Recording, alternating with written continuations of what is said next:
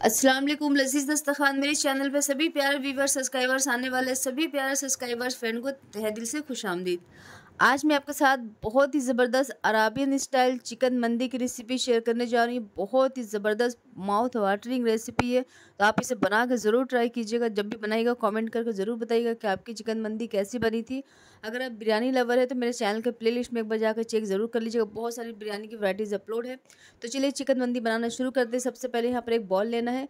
इसके अंदर मैं शामिल करूँगी हाफ़ टेबल स्पून कश्मीरी लाल मिर्च पाउडर हाफ़ टेबल स्पून लाल मिर्च पाउडर, ये तीखा है।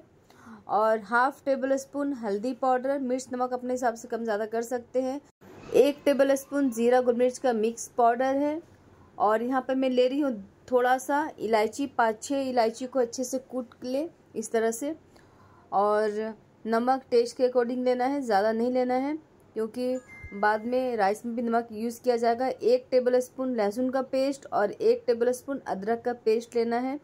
और साथ में यहाँ पर मैं ऐड करूँगी दो टेबल स्पून भरकर तेल। तो मैं दिखला दे रही हूँ, देखिए ये टेबल स्पून है, इसी से लेना है सारी चीज़ों को। और ये दो टेबल स्पून हुआ।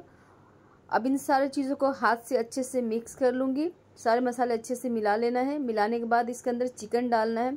तो चिकन आप दो पीस में ले सकते हैं, चार पीस में ले सकते हैं, या फिर इस तरह से आप पूरा होल चिकन ले सकते हैं। तो यहाँ पर मैं डेढ़ के जी का चिकन ले रही हूँ।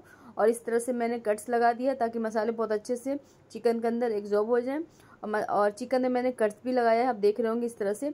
तो अब मसालों को चिकन के साथ बहुत अच्छे से कोट करना है ताकि मसाले बहुत अच्छे से चिकन के ऊपर अच्छे से लग जाएँ। तो बहुत अच्छे से हाथ से मसल मसल कर चिकन में मसाले को लगा लेना है। और जो कट्स लगा उसके अंदर भी अच्छे से मसाले को लगा लेना। तो आप इस रेसिपी को एक बार बनाइएगा, आप इसके फ़ैन हो जाएँगे।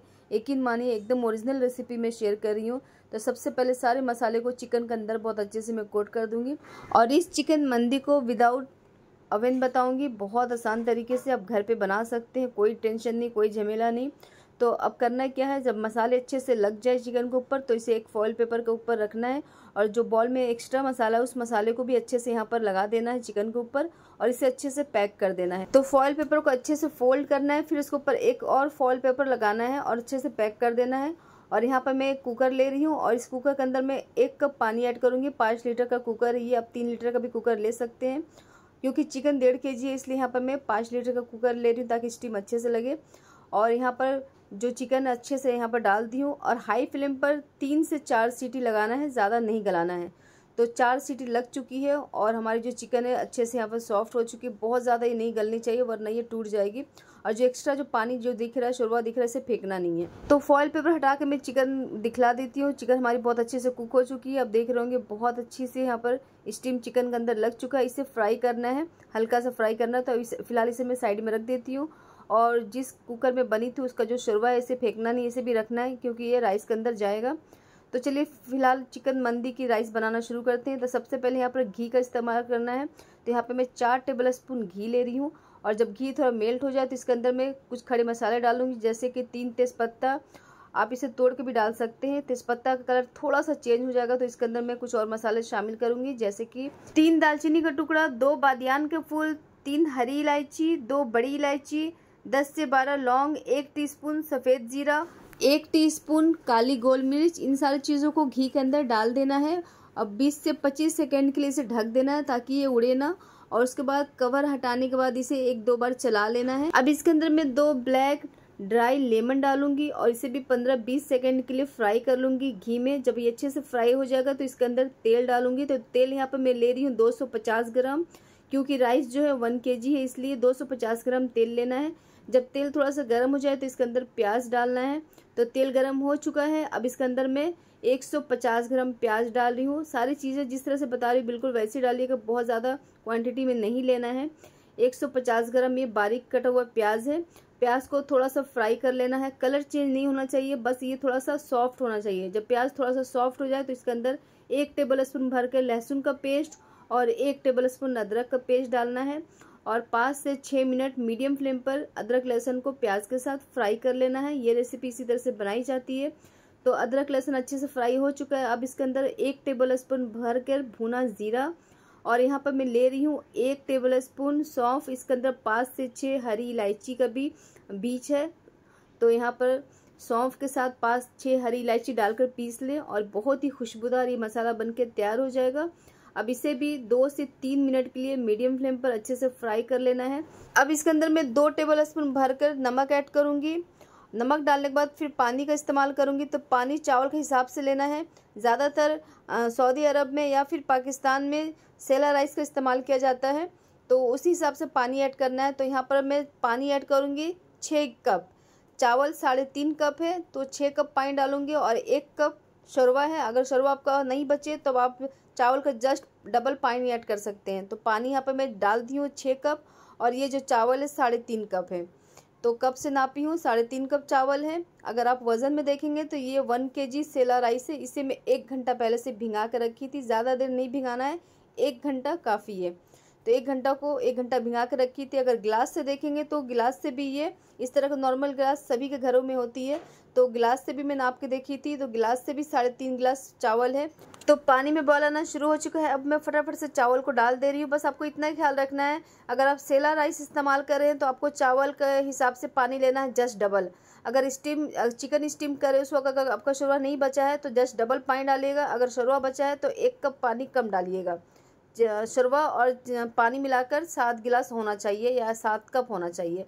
अब इसके अंदर मैं डाल रही हूँ सात हरी मिर्च और इस मिर्च को मैं कट नहीं कर रही हूँ क्योंकि मिर्च का सिर्फ़ फ्लेवर आना चाहिए। तीखा, ये मंदी एकदम, एक ज़रा भी तीखा नहीं होता है तो आपको इसी तरह से बनाना है। हरी मिर्च का सिर्फ़ फ्लेवर आना चाहिए। तीखा, ये मंदी बिल्कुल नहीं बनती है। अगर आपको थोड़ा तीखा पसंद है तो हरी मिर्च में कट्स लगा लीजिए। याद रखिएगा छः कप पानी है और एक कप शरवा है। हाई फ्लेम पर ढककर इस तरह से पकाना है। जब तक पानी बिल्कुल कम ना हो जाए, तब तक ये प्रोसेस आपको हाई फ्लेम पर करना है और एक दो हाथ बीच में इस तरह से चलाते रहना है। अब इसे मैं कवर कर देती हूँ और दो से तीन मिनट के लिए इसे मैं मीडियम फ्लेम पर रख दूँगी और पानी को थोड़ा और कम होने देती हूँ। तो तीन मिनट हो चुका है मीडियम फ्लेम पर पकते हुए। अब यहाँ पर फ्लेम को एकदम लो रखना है, क्योंकि अब इसे हमें दम के लिए रखना है।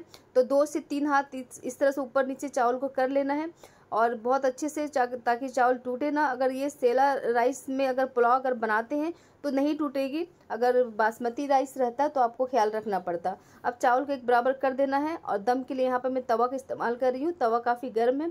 तो गर्म तवे के ऊपर इस मंदी राइस को रख दूँगी। थोड़ा सा यहाँ पे मैं ऑरेंज फ़ूड कलर का इस्तेमाल कर रही हूँ। इसके अंदर किसी भी तरह का खुशबू एसेंस की ज़रूरत नहीं पड़ती है, क्योंकि ये जो राइस बनती है, बहुत ही फ्लेवरफुल बनती है, बहुत ही खुशबूदार बनती है।